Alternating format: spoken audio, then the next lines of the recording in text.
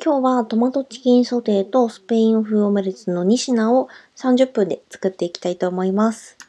まずはスペイン風オムレツの野菜をカットしていきます。人参2分の1本ぐらいかなを皮付きのままダイス状に切っていきます。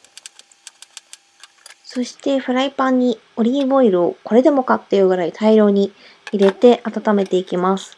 ね、オリーブオイルが少ないと、ひっくり返すときにオムレツがうまく剥がれなくなるので、本当にこんぐらい、こんなに入れて大丈夫かなっていうぐらいたっぷり入れます。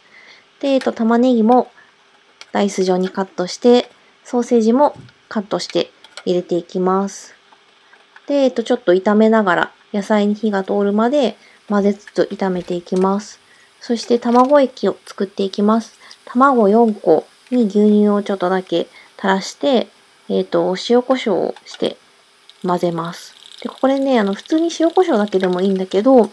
コンソメ？顆粒コンソメとかがあったらそれを入れると味にパンチが効いてすごく美味しくなります。で、えっ、ー、と、野菜が炒まってきたなと思ったら、えー、卵液を一気に注ぎます。そして、ちょっとこういうふうに、あの、周辺から中央に、あの、フライ返しとかで卵液を動かして早く固まるようにします。そして次は、えー、トマトチキンソテーのトマトソースを作っていきます。ニンニクを結構大量に大きめ2個分ぐらいかなを、えっ、ー、と、みじん切りにしていきます。そしていつもはオリーブオイルを入れたフライパンでニンニクを炒めていくんですけど、この日はふと電子レンジで作ってみようと思ったので、耐熱容器にオリーブオイルとニンニクを入れてレンジにかけました。600ワットで1分半ぐらいかけたかな。そして、えっと、トマト缶半分ぐらいの量を入れて、お砂糖を小さじ1杯ぐらいと、あとコンソメを、えっと、2分の1個ぐらいのすりおろして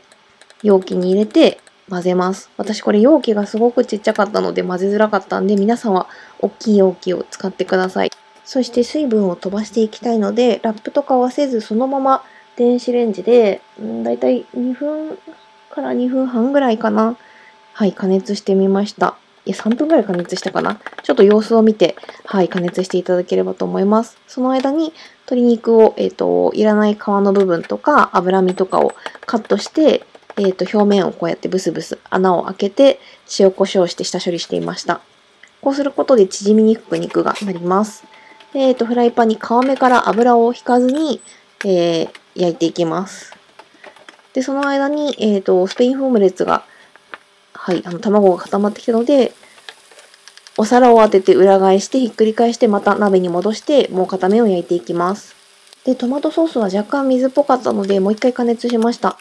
そして、えっ、と、スペイン風オムレツはもう片面がしっかり焼けたら完成になります。で、鶏肉は、はい、片面がこんがりしてきたら裏返します。トマトソースはホールトマト缶を使う場合はしっかりこう、あの、大きいトマトの塊になっているので、潰して、はい、滑らかになるように混ぜていきます。完成しました。すごく見た目が華やかで写真映えしますよね。トマトソースがニンニクがすごく効いてて美味しかったです。で、ちょっと言い忘れちゃったんですけど、あの、チキンを焼くときは、ハーブソルトとか、私は今回クレイジーソルトをかけて焼きました。ぜひ簡単なので皆さん作ってみてください。で、トマトソースは無理に電子レンジで作らなくても、普通に鍋で炒めた方が意外と簡単かなと今日今回初めて電子レンジで作ってみて思いました。はい。今回も最後までご視聴ありがとうございました。もしよかったらチャンネル登録とグッドボタンよろしくお願いします。